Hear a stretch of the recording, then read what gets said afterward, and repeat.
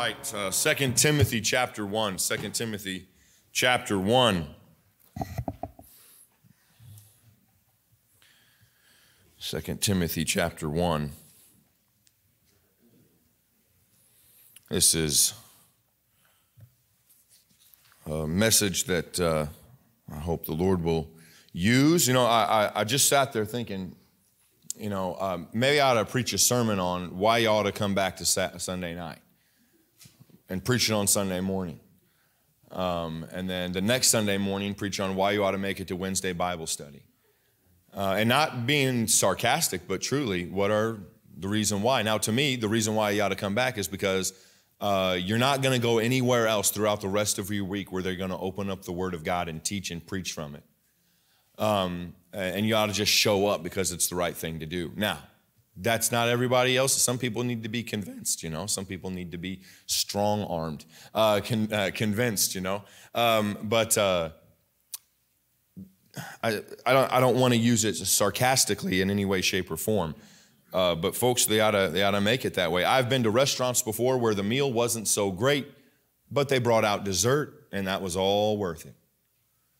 You know, I've been places before where, you know, you get halfway through something, you're like, ah, this isn't, because I'm telling you right now, some days I feel like um, uh, I popped out in in, uh, in, in, in the infield and I I swung and miss. Uh, not every Sunday morning is a home run sermon. Sometimes I'm like, I struck out. that was not great. Now the Holy Spirit might have used it some way. The Holy Spirit can take some lame old sermon and do, do, something with it. Thank God for the Holy Spirit. Uh, but um, there's time you get to bat again. And if you show up to the plate and you show up uh, to the dinner table, sometimes you're fed. And uh, people who walk out with, they don't come to Sunday school. They come to one service at the 11 a.m. and they don't come back Wednesday or Sunday night. I, I just wonder how people can stay fed that way. I just don't understand how Christians can do that. Uh, but um, I'll, I'll come up with a sermon and, and preach a biblical sermon on why you should come back to church on Sunday night. Uh, all right, now uh, let's see. Y'all are like, Brother Jackson, we're here. Why are you telling us? Um, I'm just venting to you, just, just sharing with you. Uh, the Bible says in 2 Timothy chapter 1, verse number 6, it says, Wherefore I put thee in remembrance that thou stir up the gift of God which is in thee by putting on of my hands. Uh, for God hath not given us the spirit of fear, but of power and of love and of a sound mind. Be not thou therefore ashamed of the testimony of our Lord, nor of me his prisoner, but be thou partaker of the afflictions of the gospel according to the power of God, who hath saved us and called us with a holy calling, not according to our works, but according to his own purpose and grace, which was given us in Christ Jesus before the world began, but now is made manifest by the appearing of our Savior Jesus Christ, who hath abolished death and hath brought life and immortality to light through the gospel, whereunto I am appointed a preacher and an apostle and a teacher of the Gentiles. For the which cause I do suffer these things, nevertheless I am not ashamed, for I know who I've believed, and am persuaded that he's able to keep that which I've committed unto him against that day. And lastly, verse 13 Hold fast, Paul speaking to Timothy, hold fast that form of sound of sound words which thou hast heard of me in faith and love which is in Christ Jesus. Heavenly Father, I'd ask that you'd help me tonight. Help me as I preach. Uh, Lord, help me not to uh, uh, the, the, the folks who aren't here, uh, Lord, they'll miss out on a blessing. They'll miss out on an encouragement. They'll miss out on being stirred up. Heavenly Father, help me not to ever be discouraged by the numbers, because uh, Scripture says where two or three are gathered, there you are in the midst. Now, our Lord, I like two or three hundred or two or three thousand, uh, but Lord, you are uh, you can do something with. You've shown it time and again what you did with Gideon. You don't need thirty thousand. You don't need twenty thousand. Uh, Lord, you could use two or three. Heavenly Father, you're a God of miracles, as I spoke this morning. Uh, the things you did in old, you can do again. Lord, help us again tonight. We ask these things in Jesus' name. Amen. Now, I like verse number six. Verse number six is my text verse. He says, Wherefore I put thee in remembrance that thou stir up the gift of God. I like being stirred up. I like whether it's um, anger, and, and I mean a righteous anger. Uh, but I, um, I like comfort. I like relaxation. I like chilling out and hanging out. You know, I, I, I like being a mellow fellow. Uh, but there are some things that just get me pumped up. There's some things that just that just get me riled up. And what's hap- what is that? That's a stirring up. That's a stirring up of a certain emotion, a certain feeling. But Paul says to Timothy here, he says, stir up the gift. Stir up the gift. So many Christians have a gift that is gathering dust. It's gathering dust, uh, and it's not being used. He said, Wherefore I put thee in remembrance that thou stir up the gift of God which is in thee by putting on of my hands. Now, Paul is writing to young Timothy. Timothy's a young preacher. He's saying, Timothy, you've been saved. Timothy, you have the Holy Spirit of God dwelling in you. Um, uh, Timothy, God called you into his service. And Timothy, I placed my hands on you as it was a like an ordination of God, a token of God's call. Now, Timothy, stir yourself up and do what God asks you to do. Do what God asks you to do. What here is a, is, is a picture of, of um, I believe uh, Paul was a independent Baptist, is what I believe. I believe he was, um, he was probably about as fundamental as you could get. Uh, Paul was a, a, an independent fundamental Baptist, uh, and he's writing to a young independent fundamental Baptist named Timothy. Uh, by the way, they weren't Catholic, they weren't Mormon, they weren't Jehovah's Witness, they weren't Muslim. Um, they weren't, um, I don't believe they were Free Will Baptist. Uh, they weren't American Baptist. They weren't National Baptist. They weren't regular Baptist. They weren't Reformed Baptist. They were independent Baptists. Amen. Thank you for that.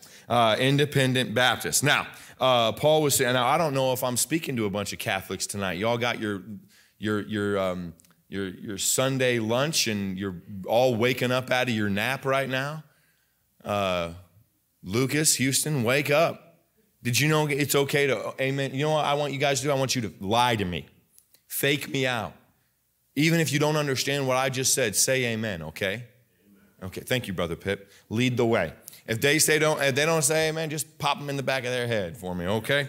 All right. Now, uh, Paul, he's what he's seeking to do is, yeah, he's seeking to stir somebody up. He's saying, Timothy, get stoked, get, get stirred up. First and second Timothy, he kept telling Timothy, he said, endure hardship like a good soldier. Endure hardship like a good soldier. See, I've preached on that. Hey, hardship's coming. Endure it like a good soldier. Trench warfare and, and the, the hardships of war and the things of war that you'll see. Endure it like a good uh, a soldier. And then he also says, study. Study. I took um, several weeks in. Uh, uh, on a Wednesday, excuse me, several weeks on a Wednesday, and talked about study to show thyself approved. Study, study, study to show thyself approved. So he tells them, uh, endure hardship and study to show thyself approved. What, what was Paul doing for Timothy here? What is he doing? He's saying the very thing we have to do is, is and a big thing that we don't do, is stir people up. Stir people up. That's why I like a preacher that says edgy things. That's why I like it when somebody says it the way it's supposed to be.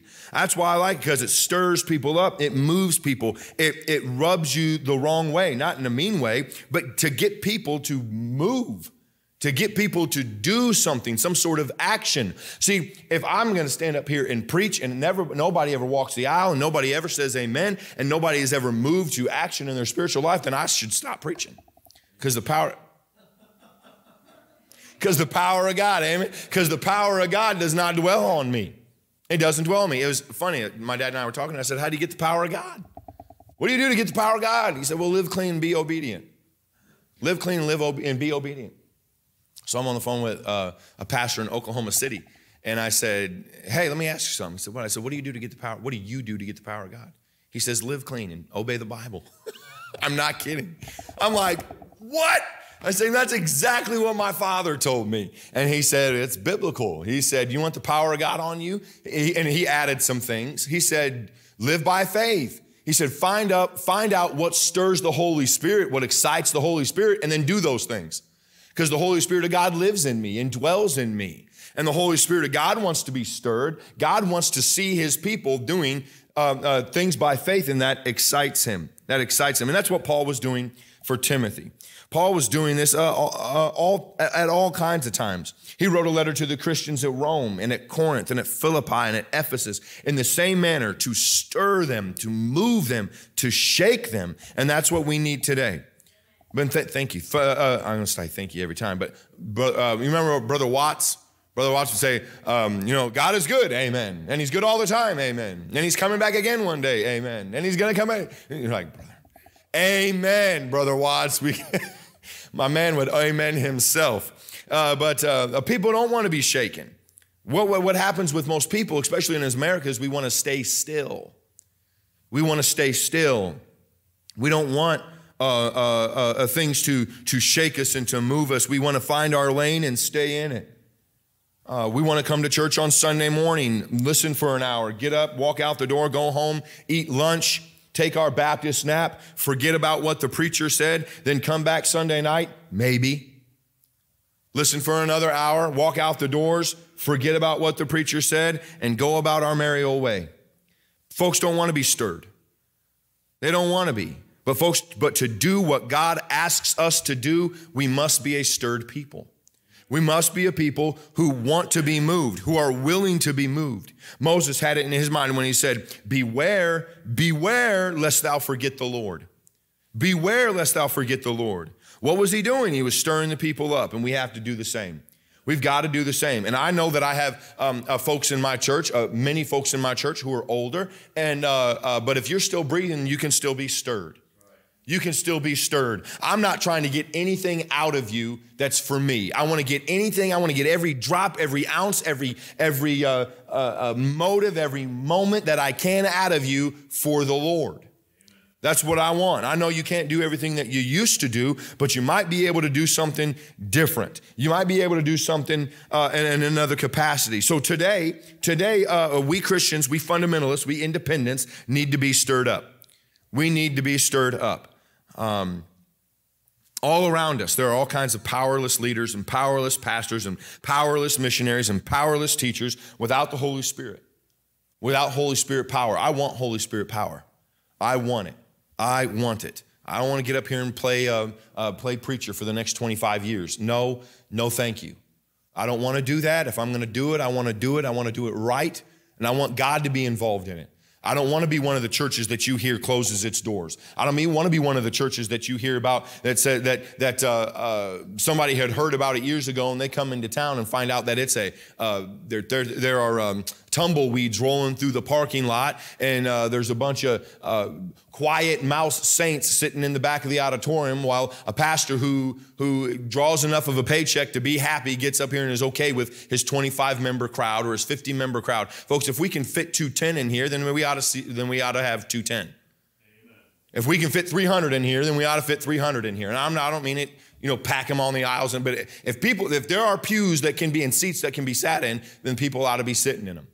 And I'm going to do anything and everything in my, in my power, in my ability, through Holy Spirit power and through knowledge and through work to get it done. I do everything I can. I told Brother Alex yesterday, I said, could you imagine what it would be like to try to knock a thousand doors? Or let's say, let's say 700 doors, 800 doors a month. If you come on now, a church couldn't help but grow. God couldn't help but bless people. And, and, I, and, I, mean, particularly the pastor who got up every morning, he read his Bible and he prayed and he had his coffee and he fellowshiped with his family and said, okay, off to school you go. And his day was planned. His day said, okay, my, I'm going to go make a couple hospital visits, but I got a neighborhood I'm going to go knock for five hours. God couldn't do anything, or w- God wouldn't do anything besides bless that man and bless that church through souls and through people and through baptisms. Folks, I need to move on. But God, God will bless a people who are seeking his power. Folks, we just read it in Matthew, in, Matthew this morning where he said, Whatsoever things ye ask of me, I, will give it to you. If you ask believing, folks, I'm not asking, I'm not asking for stuff, I'm asking for power. Solomon asked for wisdom and he got it. God sent the Holy Spirit down here. He's here in the world today. I know that He's living. He's right here inside of me today, and I know that I can have His power, and so can you, and so can our church. So can our church. You know, I see things in people, and not that I'm some visionary, but I see people and I see things in people, and I say, man, they've got great potential to do thus and so. And they don't see it in themselves. And I tell them that, and they just kind of look at me and scoff. Oh, no, I could never do that. Yeah, you could. If you would take your little lunch and give it to the Lord, He could take something and multiply it with. He could do something great with it. But if you don't ever give that bread, if you don't ever give that fish, if you don't give that little lunch of yours to the Lord, He's got nothing to feed anybody with. We want the world to be changed, but we won't give the Lord what we have. We want our community to be helped and reached and changed, but we won't give what we have. Here am I, Lord, send someone else. Yeah, Lord, I'm here and I'm available, but I'm not willing. If we would just really be honest with ourselves and dare to look inward. Uh, but people don't want to be, they don't want to be stirred, and pastors don't want to stir. As long as a pastor is drawing enough of a paycheck from a church that somebody else stirred a long time ago and got them to a position, and that pastor's dead and gone now, and some other guy came and filled the pulpit, and they pay him a salary and give him a housing allowance and a car allowance, and his kids go to the school, and they kind of run the show there, and, and, and, and he kind of just maintains things. He doesn't want to stir it.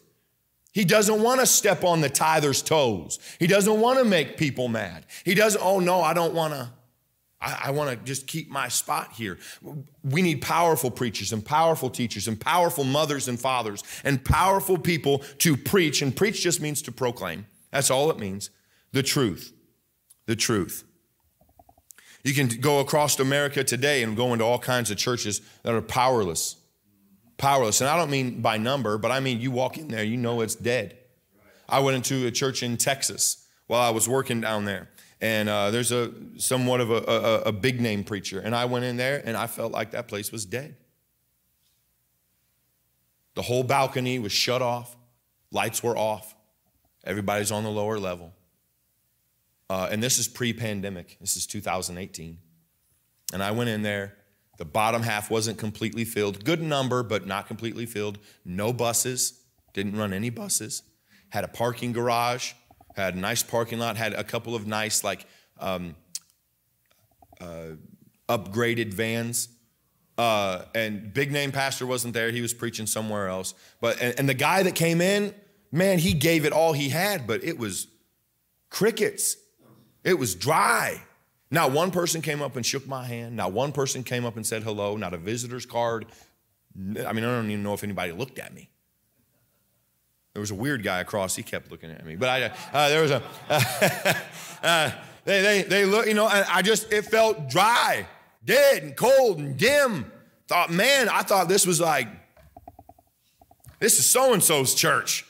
And it was, if I gave it a Yelp review, it would be like a 1.4. Uh, you know, like, what's a Yelp? Okay, here you go, a Google review. A Google review would be like a 1.5. It was not nice facilities uh, and the people weren't rude, but they weren't kind either. Um, and there's churches all across our country like that. I don't want that to be us. I don't want that ever to be us. I, I don't believe we can close the casket on Three Rivers Baptist Church. I don't believe we can do it.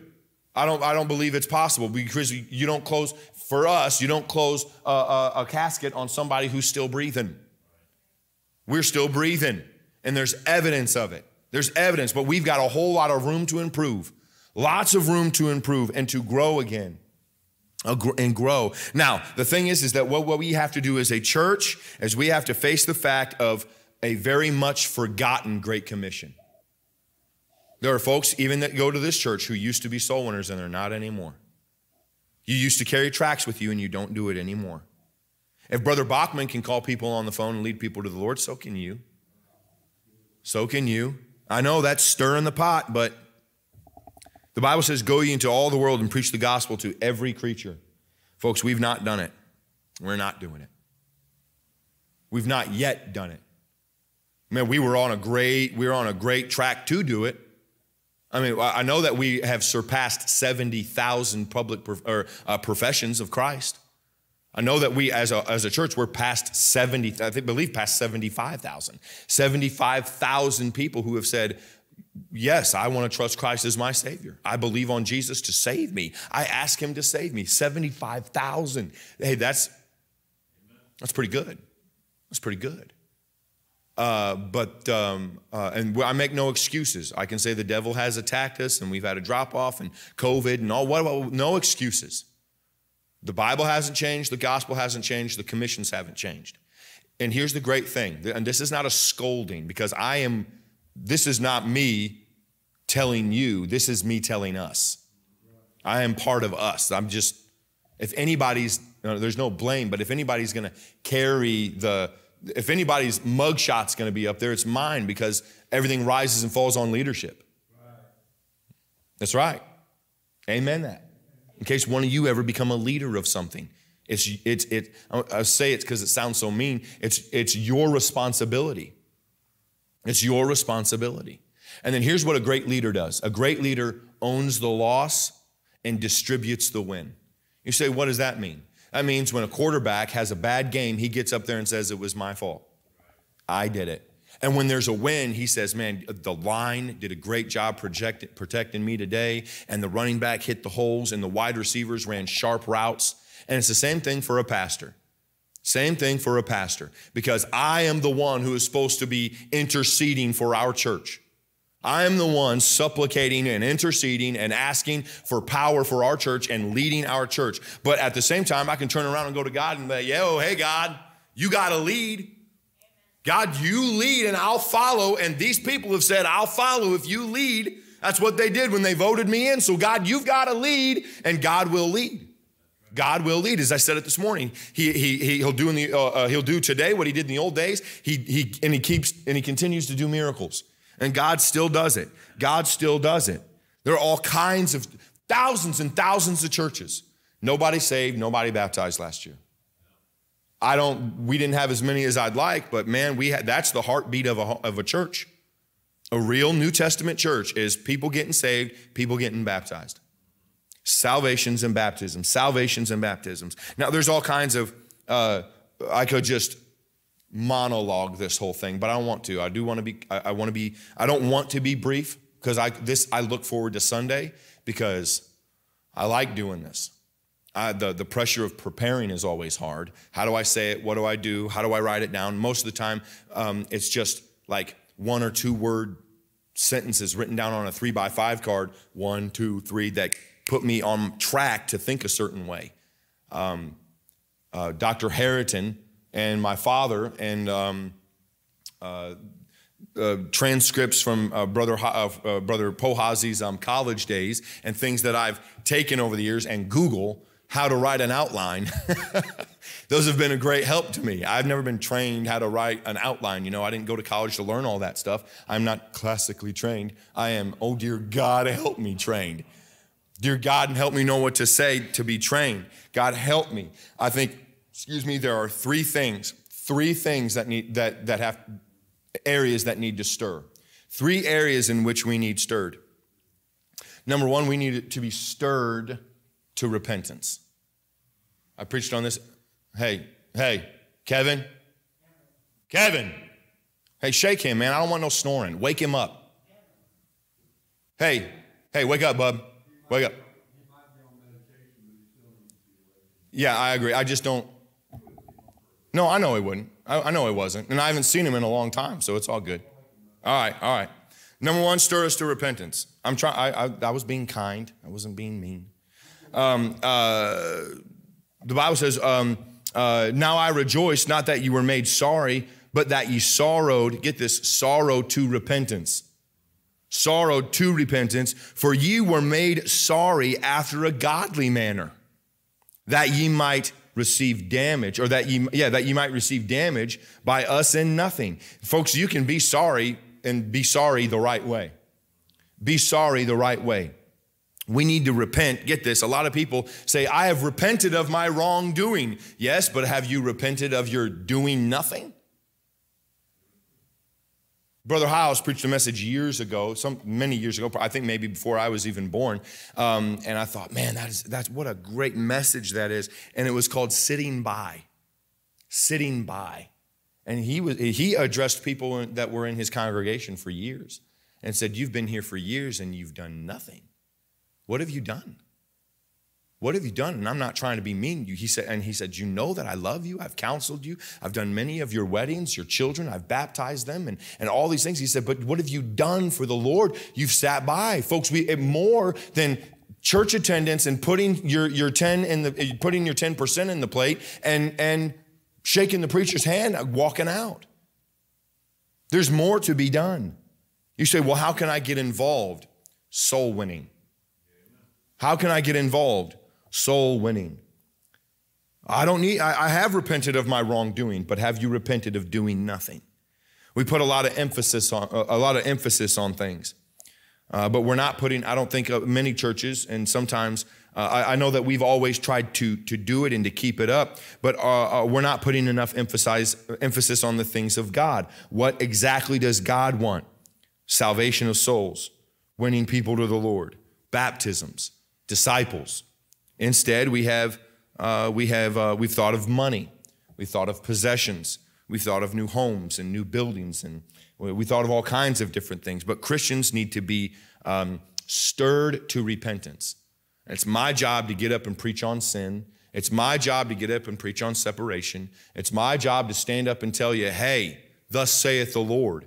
This is what God has to say. And if you have any type of heart in you that is right with God, any, any attachment to Him at all, you go, oh, wait, that's what God wanted. And you'll be stirred to repentance. This means we should have the mind of Christ. The Bible says, let this mind be in you, which was also in Christ Jesus, Philippians 2 5. It means, it means to see our personal failures, our personal faults, our personal failures, and how, how, uh, how short and how sorely we failed in living for Him. I can do better. We can do better. We can do better. Um, I don't do New Year's resolutions. I just Miss Sarah said, I don't do New Year's resolution, New Year's resolutions. I like me how I am. Uh, I'm like, all right, yeah, I got that. But I, my New Year's resolutions, resolutions aren't to lose weight or to lift weights or to go see the Grand Canyon. It's I want to see people saved and baptized. That's my New Year's resolution. It's, it stirs me. It stirs me not to see the water stirred. It stirs me not to see people saved. It, it bothers me. And many times I I, I, I, don't see, sometimes I don't see people saved or, or whatever the case may be, and I go, but I am discouraged. I'm discouraged. And, uh, but it still stirs me. It stirs me to want to do better. It stirs me to examine my life and go, is there something in the way that blocked me, for, that blocked the Holy Spirit from using me? Did I tie the hands of, of the Holy Spirit in working in my life because I had unconfessed sin, because I had something that I didn't get out of the way, because I'm regarding iniquity in my heart? Dear God, use me. Oh God, would you use me? Dear God, please give us power. That's what I want. Most Christians, folks, they've never seen, they've never led a Christian to Christ. They've never led a person to Christ. I don't want to embarrass anybody in here, but your Sunday night crowd, usually they're the ones that have. But if this morning I was to ask people who all has led anybody to the Lord, I think maybe half the people in our church could say that they have. But back when we were running, what, 320? Our, that, that percentage would have went down because the numbers were up. What we have remained, we, we've had um, uh, some old time soul winners remain. Brother Kevin, Brother Pitt, Miss White, um, not, not old timers, but you know what I mean. Um, and many others who, who, have, who have stuck around through the years. You've been soul winners throughout the years, and, and that is commendable. But most people go to church, they've never led anybody to the Lord. I want our, I want, like everybody, I mean, couldn't, wouldn't that be something? If everybody who came to Three Rivers Baptist Church was a soul winner. Lucas and Houston are going to be soul winners this year. I mean, they're going to get after it. They're going to see their, they're going to see some people saved this year. They're going to see visitors this year. I asked Houston, what, do you, what do you want to do this year? He said, I want to eat healthier. I said, okay. He said, I want to make some things out of wood. I said, all right, cool. Uh, and what was the other thing? Shoot a gun. I want to shoot a gun. I was like, all right, cool. I, we can do all those things. And as we were driving to go pick up Bill this morning, I thought, he doesn't know it yet, but he's going to see somebody saved this year. I'll set it up, he can knock it down. Uh, uh, but to see people saved, see people saved. I, God has got to move our hearts to repentance through preaching, through fellowship, through prayer. I, I hope that you pray in here. Some people call their Wednesday Bible study or their Wednesday meetings worship meetings, prayer meetings, Bible studies. Uh, but I know that God's people need to be a people of prayer, of prayer. And during your prayer time is a fantastic time to confess, and repent. I talked to Brother Alex yesterday. I said, you know, we got the, you've got um, praise and thanksgiving and um, uh, confession and supplication and intercession, or however you want to do it. Um, but you know, I can never do. I can't. I can't always fit five in. Sometimes I can't fit all those subjects in one prayer time. Sometimes it's like I'll give him praise and thanks. I always try to get the praise and the thanks in because if I feel like it's a buffer from what I'm about to tell you, Lord. and he's like, Don't worry, Jackson, I already know. I already know, Jake. Uh, and I go to the Lord and I confess my sin. And I'll spend time just saying I'm sorry because I feel like three minutes or five minutes in confession isn't enough. I don't feel like I got it all out. I don't feel like I am, yes, I confessed it. Yes, I know the Lord knows about it, but I need to know for my sake, for me. I know the Lord knows, but I want to know that I, man, I poured it all out. I gave it. I didn't just say, "Dear Lord, please forgive me of the thing that I thought or the thing that I know that was wrong." And you know, some measly little forgive me. No, but a real honest to goodness confession of sin and saying, God, I know it's wrong and I know my sins hung the Savior on the tree. And God, I know that when I sin, I sin against you and you only. And Lord, I don't mean to, but it's this flesh. And oh God, would you help me? Oh God, would you forgive me? God, give me the victory over my sin. God, I don't want to do it anymore. God, I know that I'm going to again at some point, but would you give me the victory over it? Lord, I, I, I don't want to wrestle with this anymore. I'd rather move on to a new sin and fight a new sin than struggle with this old sin. And you, man, these desperate prayers that we pray in confession, don't you're going, dear God, I would rather have this problem than the one that I have now until you have that problem. But I want to know the Lord has got to know that we're serious about our repentance. Serious about it. Repent, confess, and forsake, and turn to the Lord. We need to be stirred up about repentance. Number two, we've got to be stirred up again about the basics. Three Rivers Baptist Church doesn't need to do anything new. We don't need to do anything new. We can just take the old basics and the only thing new that we're going to add to Three Rivers Baptist Church is like technology and make life a little bit more streamlined. Soul winning still works. Bus visitation still works. Visiting your Sunday school class still works. Going and visiting the absentees still works. Personal contact works, writing letters works, emails, all those things, they all work. But adding technology in, man, it just makes it better, makes it more effective. I mean, there may be a, like a new department here or there. I mean, Three Rivers Baptist Church is not moving away from basics. But there's no sense in moving on to something new if we're not going to be stirred up about the basics. The basics of the Bible, the basics of the Bible, the basics of our fundamentalism, the basics of our faith. Folks, um, I keep telling myself and, and telling others um, uh, and, and, other folks that I've talked to, uh, most people, the most percentages of people, they have not even read their Bible through in a year, let alone, let alone led somebody to the Lord. Read your Bible through. I've been in, in church meetings, I've been in Sunday schools where I'm the only one with a Bible. That should never, ever be. The Bible's, it's like the playbook. You don't show up to the facility player without your playbook. You don't show up without your playbook. I know in um, certain um, uh, situations of the military, once you have a rifle, that rifle goes everywhere with you.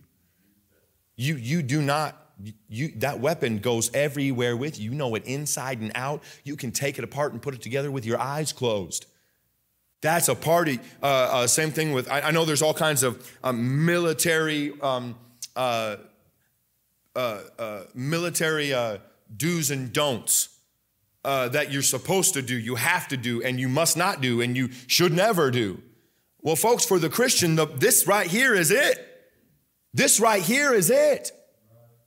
It's not about this tie. It's not about a hanky. It's not about a pulpit. It's not about the pews. It's not about even the building that we're meeting in today. It's this. How are you going to show up and, and, and show up to war without your weapon?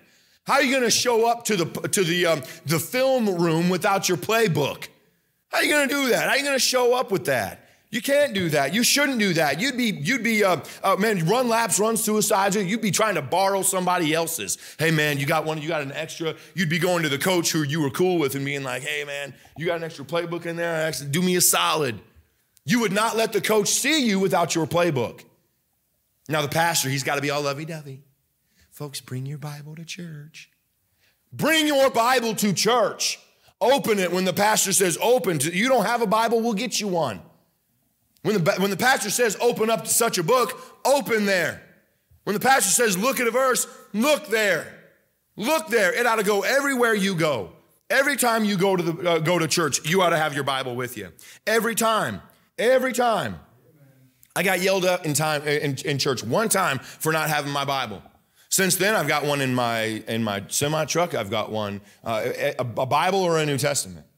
I have uh, several in my office, several in my room. I them everywhere.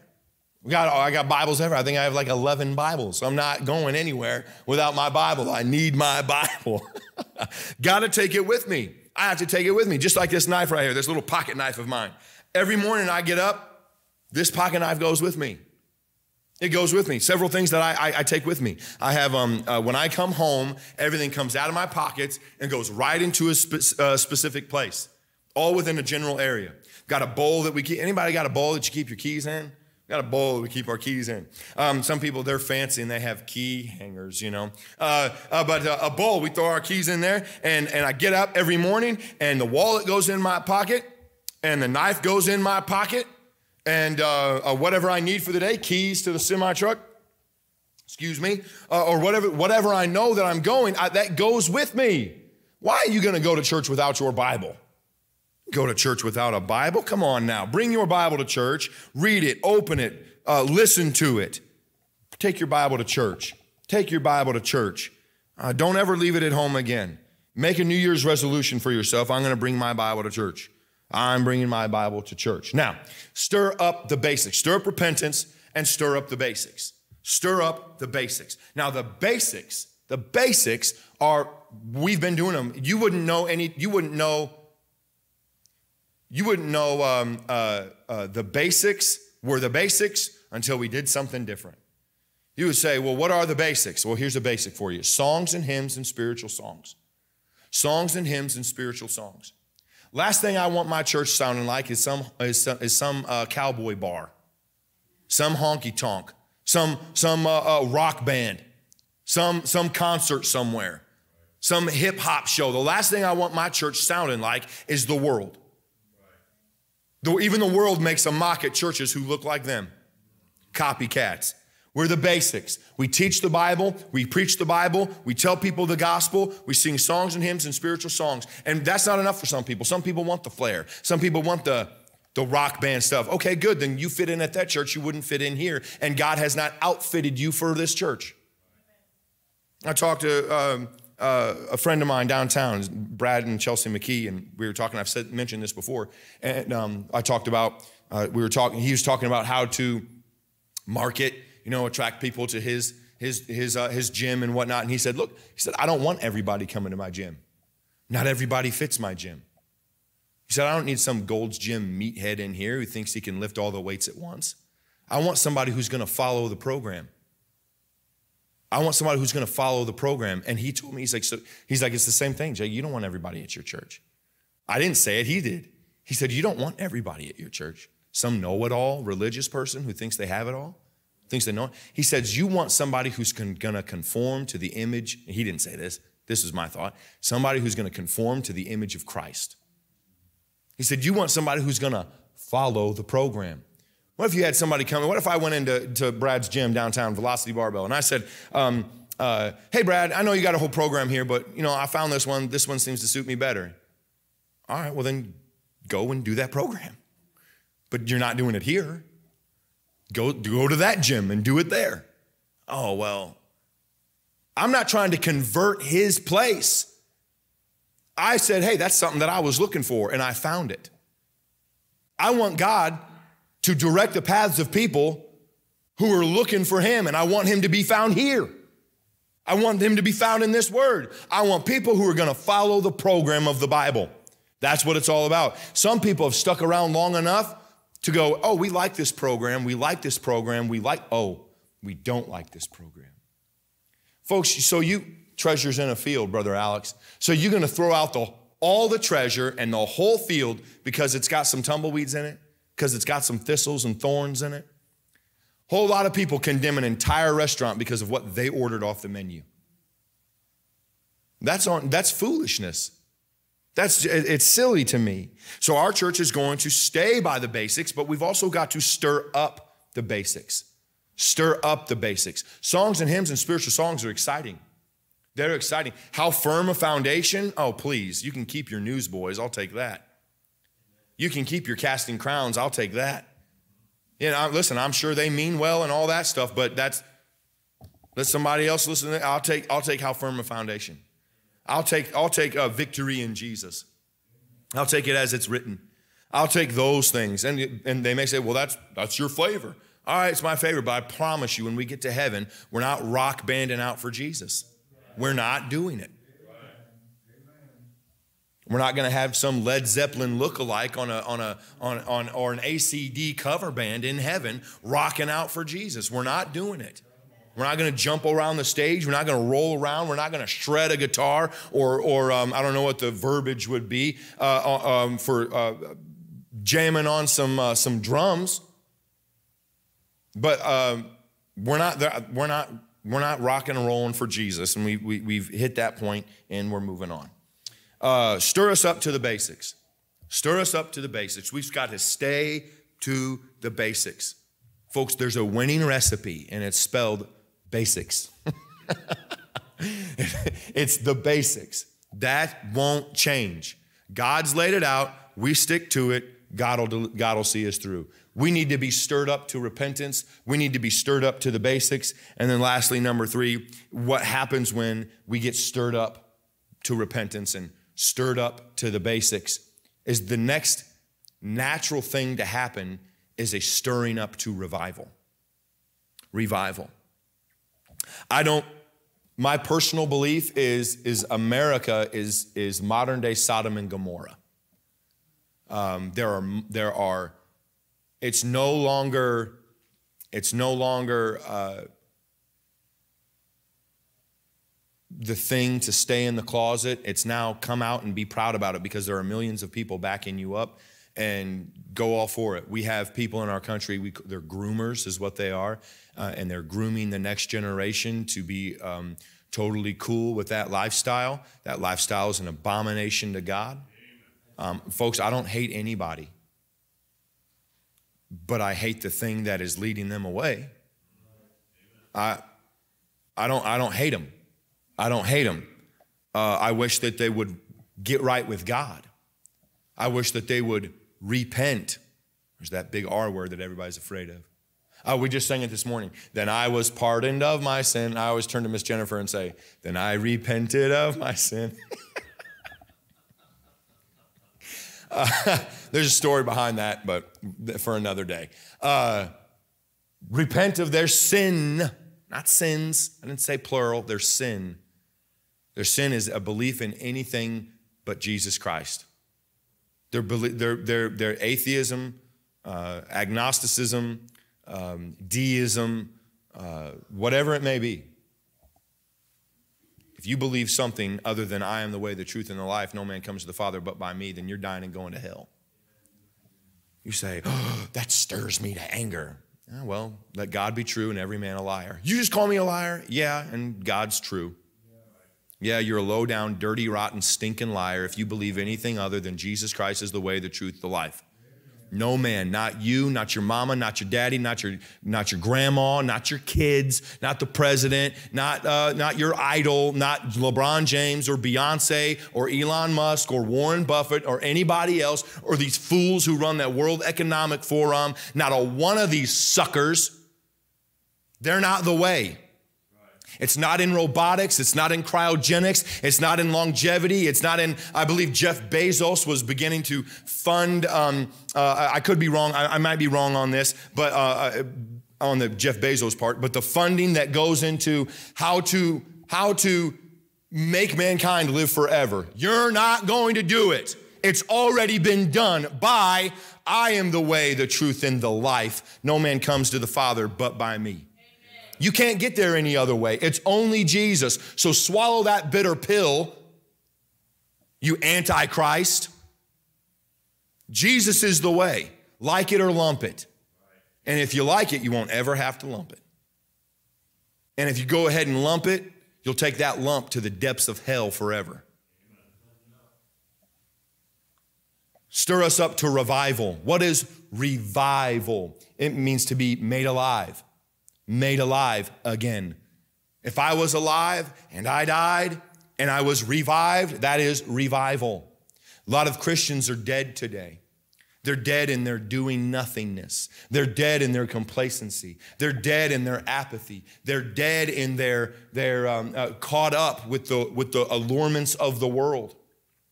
We need to be revived. Folks, revivals aren't for lost people, even though it draws lost people. Revivals are for born again Christians to get right with God and to do what was right.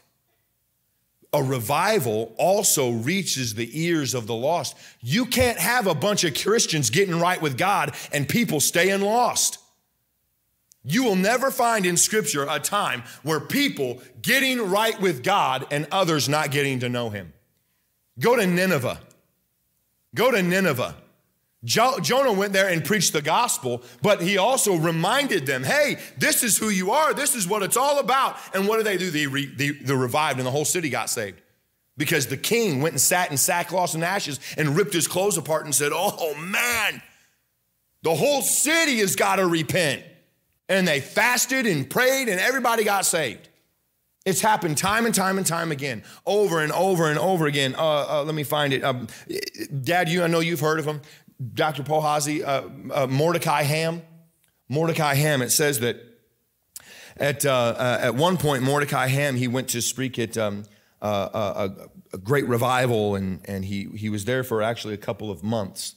And during this revival, he never gave an invitation. Never had an invitation. Never had an invitation. Weeks went by for, for three months. No invitation, no invitation. And the people that put it on said, Mr. Ham, Brother Ham, we got to have a revival. Why aren't we having a revival? And he said, I'm not having a revival until I think that God has stirred the hearts of the people. He said, So I'm going to preach hotter and hotter every single time. Every time I'm going to lay it on thick. I'm going to do the best I can. And after several weeks, he had, a, he had an invitation, and it says thousands and thousands and thousands of people came. People getting right with God and people getting saved. There's no way that Three Rivers Baptist Church could have a revival and your next door neighbor wouldn't get saved, and your coworker wouldn't get saved, and your mom and your dad or your brother or your sister or whoever in your life and in your circle wouldn't at least hear the gospel and people come to Christ. God can stir us up. I don't know how many years we have left on this earth as a whole, let alone myself. But let's say the world, let's say Jesus is coming back in 20 years. Let's say it's 20 years. We could have a little mini revival at Three Rivers Baptist Church for the next 20 years. I mean, why do we have to be a dead church when Jesus comes back? We don't have to be. The bride's got to be getting ready. Let's be doing our part. But we can never, ever reach revival. The tears will never be shed. The reunion will never be brought together. The, the neighbor will never be saved. The, the family member will never meet Christ. That will never, ever happen if we don't first get stirred up to repentance over our cold hearts. Our cold hearts are doing, oh, I'm not real bad. Okay, cool. But are you real good? Well, no. So you're in the middle. And what does the Bible, what does God say about the middle? I'm gonna spew you out of your mouth, spew you out of my mouth. Man, I don't, I don't want to be that guy. And I struggle with it. Sometimes I'm cold, and sometimes I'm real hot. And sometimes I'm real cold, and sometimes I'm just hot. What I struggle with is not being hot and cold. That's being human. I struggle with being in the middle because that's comfortable. I read my Bible enough. I passed out a couple of tracts, but down inside, I know that's not good enough. I know that there that I could do more. I know I was just playing the game. And one day we'll be called to the carpet. And God would say, You were just playing the game, weren't you? And we'll head our head, hang our heads in shame. We can't lie to him. There's no lying then. Yeah, God. I know I should have done more. See, it is paramount that sermons that bother us and stir us and brush us and push us and move us have to be preached. They have to be because it holds the preacher accountable and it holds the people accountable to a God who holds us accountable because he's given us his word. He said, I've given it to you, people who make up Three Rivers Baptist Church. You can keep it closed, but you're still accountable. You can turn away from it, but you're still accountable. You know what gets me about wayward people? they're still accountable. They're still accountable. Just because you're out living your life and doing what you want to do, it, you're still accountable. So I credit it to you. You're in church this morning. You're in church tonight. You've, you've uh, taught a Sunday school class, you sang in the, in the choir, and, and um, uh, uh, you tied, you went out soul winning yesterday. I credit it to you. But don't, don't stop there. If you say, I don't ever want to stop, then stir up to repentance, stir up the basics, stir up the basics, and we may be able to stir up a revival. A stir up a revival. There are people here who haven't been here for years. And I'm not, oh, I want to have a great church so they can come back. They come back or not. But there's a city of over 300,000 people. Hey, there, and I'm not going to name names. Not to be mean, but they're, they're, the names could just go on and on. Here you go. In Fort Wayne, there's another Jake Jackson. There's another Jim. There's another Dr. and Mrs. Paul. Well, there are no other Dr. and Mrs. Paul. You guys are the one and only. Nobody, I guarantee nobody in Fort Wayne's been serving in a children's ministry for 50 years. I bet you guys are a, few, a rare, rare breed. Um, uh, there's another Dr. and Mrs. Pawsey. There's another, Lord help us, another Arif and Carrie. Uh, there's another, there's, there's another Jesse. There's another Jennifer. There's another Hillary. There's another Alex. There's, a, there's, a, there's, there's you. There are more of you out there. So it's not, let's get Three Rivers going so our old friends come come back. Sure, if that's what God's will is, but let's stir it up so we can go out and find all the ones who have not heard of Jesus. Let's go find all the ones who've never heard the gospel playing before and give it to them straight and let them, kind, let them come and find an authentic place with an authentic Savior, with an authentic book, with authentic songs, praising an authentic Savior. Where they can worship and fellowship and disciple and turn their lives around. Instead of putting their necks in a noose, instead of putting blades to their wrists, instead of popping pills, instead of putting a gun to their, their, uh, uh, their head, Instead of just ending it all, they can find a new beginning by ending the old life and beginning a new life with that new birth in Christ. That's what I want to be a part. That's what we're going to make around here. We are going to cultivate that again. We are going to push toward that goal again together. And if you don't want to do it, then then um, uh, hop off the wagon and walk behind everybody. Don't. Uh, everybody's going to carry some weight.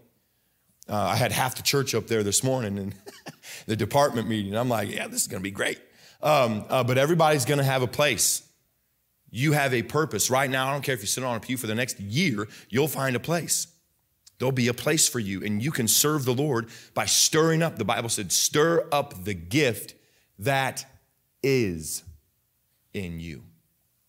You said, Oh, I don't have a gift. No, it didn't, it didn't put a picture in the Bible and with a picture with your face on there that said, besides this guy.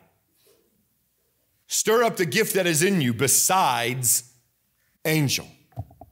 No, angel has a gift. I mean, come on, he's an angel. Uh, he's angel. Angel has a gift. Miss Hillary has a gift. Miss Jamie has a gift. Bill has a gift. He said, stir up the gift that is in you. There's a gift in you. Let's find out what it is by repentance, by the basics, by revival. Would you bow your head and close your eyes with me, please? I'm going to ask you to stay in your seat. And I want you to go with me in prayer for just a moment as we pray for our church, the future of our church, the families of our church, that God would help people to see their gift. And then, folks, I would ask you this is personal one that you'd pray for your pastor. Please pray for your pastor for guidance and wisdom to know how to lead and to teach and preach God's people. Heavenly Father, I thank you for this evening. I thank you uh, for the letters that Paul sent to Timothy, where he said, Hey, Timothy, stir up the gift that is in you. And Lord, I have a gift in me. Uh, these people here tonight have a gift in them. Our Sunday morning crowd, they have a gift. And Wednesday and Sunday, they all have a gift. Even these little kids, these little children who come to Three Rivers Baptist Church, they all have gifts. They may not know what they are yet, but Lord, they have a gift. Lord, I'd ask that you would help us as a church tonight to find those gifts and to use them to help the body of Christ, to help build the church. So when that trumpet sounds and we're all caught up to meet him in the air, we can do it with expectancy, saying, Yes, this is the moment I was waiting for. I'm so glad I served the Savior. I'm so glad I served the Lord. I can meet him with peace. I can meet him with confidence. I don't have to be ashamed. Oh, Heavenly Father, I'd ask that you'd help these faithful people. Lord, give them strength this year. Help give them health this year. Lord, I'd ask, I, I, I know that this may be a lot to ask, and I know there's nothing too big to ask, but Lord, no setbacks for Three Rivers this year. I know that there'll be bumps in the roads, but uh, Lord, uh, the last few years have been tough on everybody. Everybody.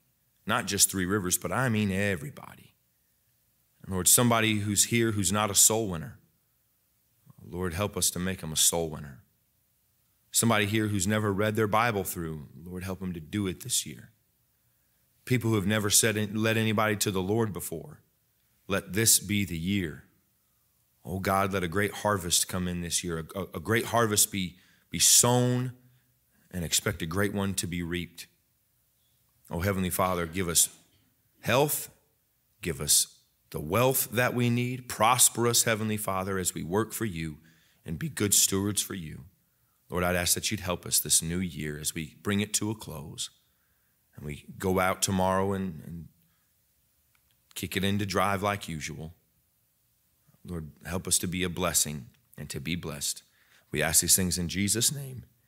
Amen. All right, Miss Jennifer, we're dismissed.